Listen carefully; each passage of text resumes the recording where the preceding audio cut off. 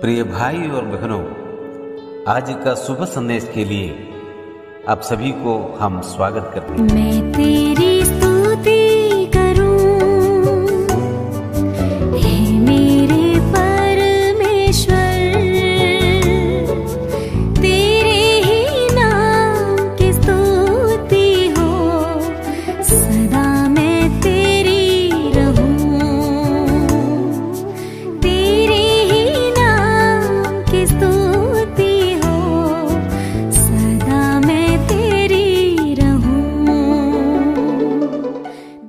आज का संदेश प्रभु के दास, वर्गीस जी से राजस्थान से बांटा जाएगा।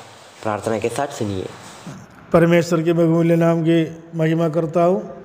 एक बार और सुबह संदेश इस कार्यक्रम में हम सबको स्वागत करते हैं। आइए, आज के विचार के लिए हम निकालेंगे कुलोसियों की पत्री, पहला अध्याय, उसकी तीन से आठवीं आय तक हम देखेंगे। समय के कमी के कारण मैं पहला आयत पढ़ना पढ़ना चाहता हूँ, उसका तीसरी आयत। हम तुम्हारे लिए नित्य प्रार्थना करके अपने प्रभु यीशु मसीह के पिता अर्थात परमेश्वर का धन्यवाद करते हैं। प्रभु के नाम की महिमा हो। हम कुलोसों की पत्र के दूसरा दिन के रूप में दूसरा जो विषय है, उसके ऊपर विचार करना चाहता है। कुलोसी की पत्र के बारे में पिछले सप्ताह हमने कुछ बात ज़रूर सुना है। आइए एक धन्यवाद की प्रार्थना के रूप में इस अध्याय को हम देखते हैं। कुलोसी की पत्री में पौलुस इस आयतों में तीन से आठ आयत के अंदर चार बात बताना चाहते हैं, पौलुस हमें याद दिलाते हैं। पहला बात है कुलसियों की पत्री एक विश्वासियों के लिए लिखी हुई पत्री है। कुलसियों की कलिसिया में परमेश्वर का आराधना करने वाला विश्वासियों के लिए लिखी हुई पत्री है। वहाँ हम देखते हैं कि एक दूसरों के लिए नित्य प्रार्थना करते हैं।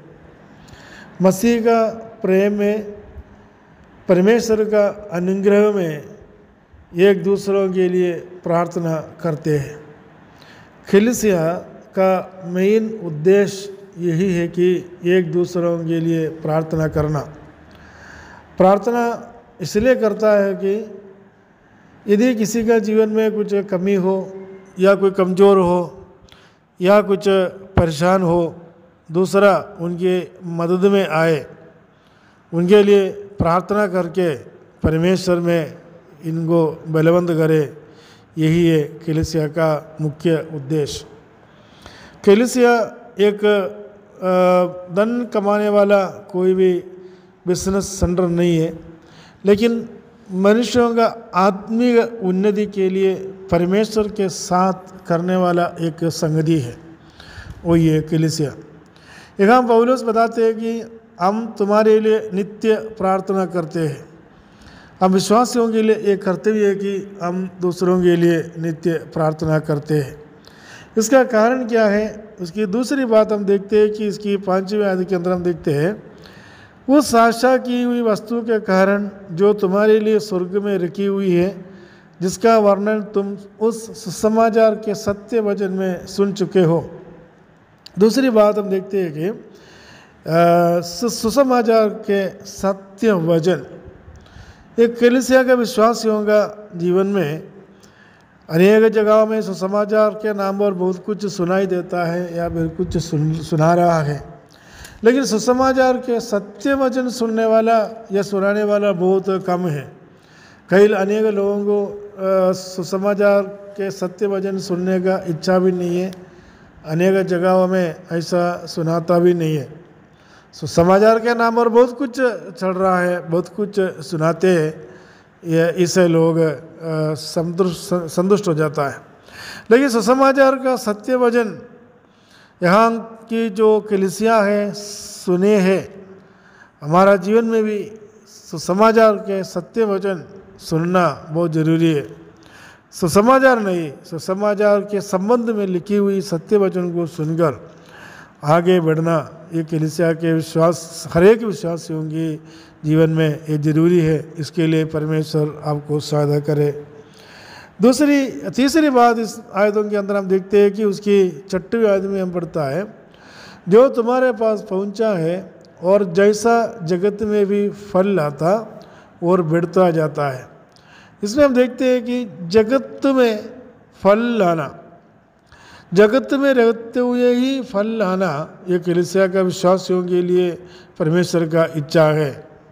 स्वर्ग में फल लाने का लोग, ऐसा बात लोग बताते हैं, लेकिन जगत में ही रहते के समय पर फल लाना परमेश्वर हमसे चाहते हर एक विश्वासियों को, के लिए ये ज़रूरी है, हम जगत में रहते समय पर फल लाना। फल लाना मतलब हम सब्जियों में से कुछ ना कुछ अच्छा फल निकालना हमें बहुत ज़रूरी है। एक विश्वासियों का जीवन सुबह से शाम तक समाज के लोगों के साथ है या अपने परिवार के पड़ोसी लोगों के साथ है, अपने परिवार के अन्य सदस्यों के साथ है। वह यदि हमसे फल नहीं लाया हमसे कोई फल निकला नहीं है तो जैसा मसीह पेड़ को दे के कहा कि इसमें फल नहीं है, उसको काट दिया जाए। और इसी प्रकार हमारा जीवन में भी फल नहीं लाया तो हमारा जीवन व्यर्थ हो जाता है, भले कितना भी बड़ा हो, कितना भी ऊँचे पद का भी हो, लेकिन फल नहीं लाया तो इसका फल क्या फ़ायदा है? अनेक जगहों में अनेक बड़े बड़े लोगों को जीवन देखो, लोगों का जीवन देखो। बड़ा ऑफ़िस ऑफ़िस में जाओ, बड़ा ऑफिसर है अच्छा पढ़ा लिखा है, लेकिन किसी का कोई काम नहीं है। अनेक लोग ऐसी है अच्छा नाम है, पद है, सब कुछ है, लेकिन किसी को कोई काम का नहीं है, किसी का कोई मदद नहीं करता, किसी का कोई फ़ायदा नहीं है। तो लोग इनको देख के क्या बोलेगा, अरे फल नहीं है, उनके जीवन में कोई दम नहीं है। लेकिन एक विश्वासियों का जीवन में ऐसा फल निकालना बहुत है, ज़रूरी है। चौथी बात, इसमें से हम देखते हैं कि उसकी सातवीं आयत के अंदर पौलोस बताते हैं, उसी की शिक्षा तुमने हमारे प्रिय सहकर्मी इपफ्रास से पाई, जो हमारे लिए मसीह का विश्वास योग्य सेवक है। यहाँ हम एक प्रत्येक बात पौलोस एपफ्रास के संबंध में कहते हैं यही है कि मसीह का विश्वास योग्य सेवक, एक विश्वासियों के लिए, एक कलिसिया का सदस्य के रूप में, हम सभी के लिए, प्रभु यीशु मसीह का शरीर का अंग के रूप में, ये जो कलिसिया है, उस कलिसिया में वे वे जो सदस्य रहकर यदि हम आगे बढ़ना चाहता है तो हमारे लिए ये ज़रूरी है कि मसीह के लिए विश्वास योग्य सेवक बनकर आगे बढ़ना।